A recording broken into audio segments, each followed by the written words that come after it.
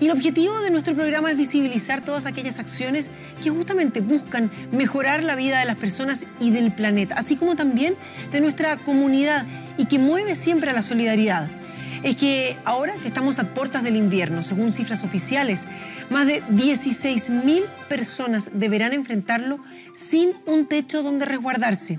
Quisimos destacar entonces la labor de la Fundación Gente de la Calle, que trabaja justamente para darles mayor dignidad cuando están personas en esa situación. A continuación vamos a conversar con Javiera Campuzano, ella es trabajadora social de la Fundación Gente de la Calle. Javiera, muchísimas gracias por acompañarnos. ¿Cómo te va? Hola Carolina, muy bien, gracias. Qué bueno, gracias por estar con nosotros. Javiera, para quienes no la conocen, ¿cuál es la labor que realiza esta fundación? Bueno, la Fundación Gente de la Calle ya tiene más de 25 años de experiencia trabajando con la temática. Hoy en día eh, trabajamos una amplia gama de, eh, de cuestiones sociales a través de la incidencia, del atender y del conocer, que son nuestras principales líneas de acción en el, en el trabajo que desarrollamos. Eh, contamos con un equipo especializado de trabajadoras y trabajadores sociales, gestores sociales, que atienden a personas en situación de calle que llegan a la fundación por demanda espontánea, derivaciones de otro espacio o que simplemente las personas se van pasando la voz y nos conocen y acuden a nosotros. También estamos trabajando arduamente en proyectos para visibilizar la temática y también desde el conocer siempre estamos eh, intentando estar de hecho ahora en la convención, instalando la temática, intentamos visibilizarlo a través de espacios con la comunidad y a través de proyectos a los cuales estamos realizando este año. Bueno, podemos colaborar entonces y esperamos poder colaborar en esa tarea justamente de ponerlo sobre eh, el tapete y que se pueda conversar al respecto. Y ahí, sobre todo, Javiera, cuando sabemos que en este último tiempo ha habido una mayor cantidad de personas que han tenido que lamentablemente llegar a la calle, ustedes me imagino que no solamente tratan de colaborar a quienes ya lo están, sino que tratar de prevenir o entender por qué este fenómeno ha ido aumentando. ¿Tienen alguna respuesta al respecto? Sí, por supuesto. Bueno, las cifras oficiales actualmente se dice que son alrededor de 16.000 personas o más. Nosotros que creemos directamente que son más de 20.000 personas, que igual si hablamos de un número como de la población, del total de, de chilenos y chilenas y de personas que está, habita el país en este minuto, es un número que puede ser abordable. ¿sí? Eh, pudiésemos trabajar desde los municipios y desde los ministerios para poder ejecutar eh, acciones que perduren en el tiempo. ¿sí? Eh, el aumento se ha visto significativamente desde el estallido social hasta ahora y también desde eh, la migración que también ha llegado al país. Muchas veces personas llegan sin redes familiares también acá a Chile y también se encuentran de cara con la situación de calle. Ha aumentado también porque hubo de, no, hay, no había oferta laboral en un minuto. Para la pandemia lo que más había en la situación, en, viviendo en la calle era hambre, era frío, eh, había también un cierto miedo respecto de la pandemia, no habían cuestiones claras. Entonces fue súper complejo como accionar algo porque las medidas que hay ahora actualmente no cubren ni el 15 o 20% del total de la población que se encuentra en situación de calle. De hecho, nosotros como fundación en este minuto no tenemos residencia o un lugar donde las personas puedan pernoctar. ¿sí? Nosotros estamos trabajando desde la atención directa con las personas, desde derivaciones a otras instituciones y desde trabajo colaborativo con las otras comunas. Pero me imagino que esto nunca es suficiente, ¿no? O siempre se hace insuficiente, ajeno todos los esfuerzos que puede haber. De hecho, agradecemos los esfuerzos que se han hecho hasta la fecha, desde el 2005 que se instala una política nacional de calle, pero sin embargo eh, sigue siendo insuficiente un programa, un programa de Protege Calle que solo tiene albergues en una época del año o residencias o centros de referencia u hospederías que en este minuto no alcanzan a cubrir las 1.500 personas. Bueno, justamente estamos ya a puertas del invierno, con lluvias que han sido bastante fuertes a lo largo del país durante esta semana sobre todo en condiciones como esa, porque, porque tienen que afrontar personas, niños, adultos mayores, estar en las calles durante condiciones que para nosotros que tenemos una casa donde llegar ya se pueden llegar a ser difíciles. Sí. ¿Qué solución se les puede dar? O, sí, porque estamos a puertas del invierno, o sea, la solución es para ayer. Claro. Sí, de todas maneras. Bueno, eh, lo ideal es que hubiesen más espacios, que cada comuna contara con algún espacio para que estas personas puedan al menos pernoctar, pero eso es una cuestión como paliativa que va a ser asistencial por un periodo de tiempo. Pero creemos fielmente que debiese trabajarse integralmente, intersectorialmente con los ministerios, con los servicios nacionales, por ejemplo, del adulto mayor, con el Servicio Nacional eh, de la Niñez, eh, con la Seremía de Salud respecto como, o del Servicio de Salud respecto de, los, de las personas con problemas de, físicos o mentales que están en situación de calle. Es que, ¿sabes? justo te quería preguntar por ellos, porque entiendo que, y corrígeme si no es así, por favor, las personas, los niños o las personas mayores de 60 años que tienen una condición eh, psiquiátrica, pero que están en una situación de calle, ¿no son considerados como estar en situación de calle o no es así?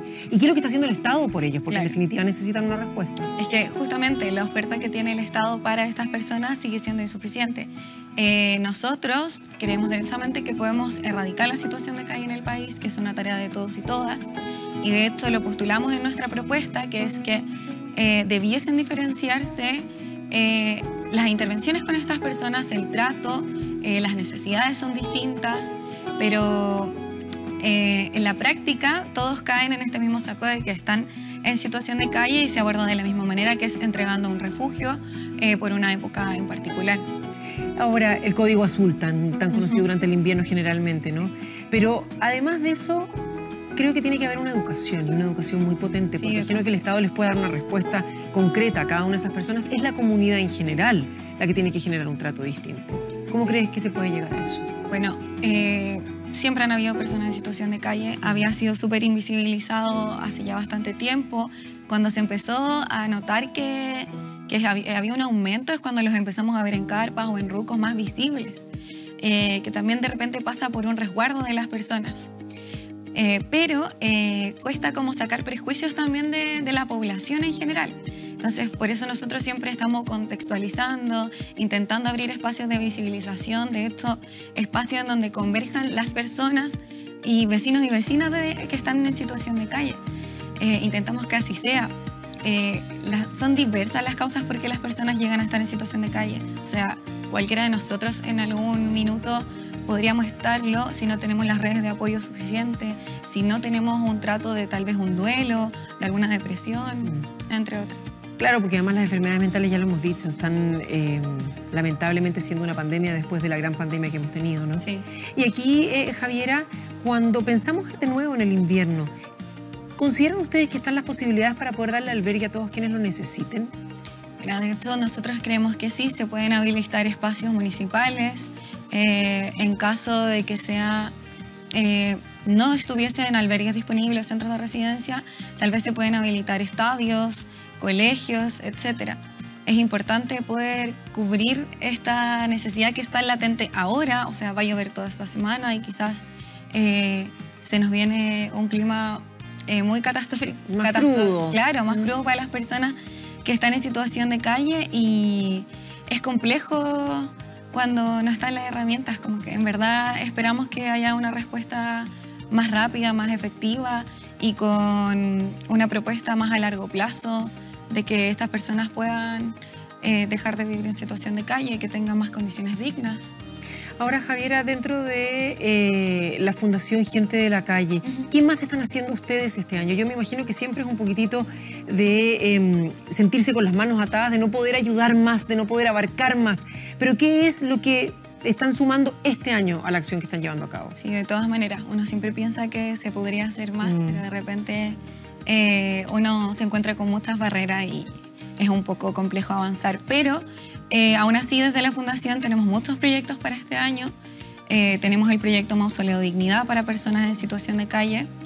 tenemos el proyecto de Menstruar en Calle y tenemos el proyecto que siempre es nuestra, nuestro pilar fundamental, que es el área de atención. Ahora estamos haciendo rutas y ferias de servicio en al menos siete comunas que no habíamos trabajado directamente con ellas ni colaborativamente entonces se está generando un trabajo súper rico en, conocernos, en levantar la temática calle en otros espacios para que así los municipios también puedan enterarse de que en su misma comuna hay organizaciones que trabajan con personas en situación de calle. Javier, ¿sabes qué? Hemos logrado crear comunidad, que esa es parte importantísima del programa. Hay mucha gente que en su casa nos puede estar viendo y quiera poder tratar de colaborar, de ser voluntario, de sumarse a esta gran campaña y poder ayudar a quienes están viviendo en la calle hoy día. ¿Cómo lo pueden hacer? Bueno, eh, nosotros somos súper activos en nuestras redes sociales y también en la página web de la fundación, que es gentedelacalle.cl.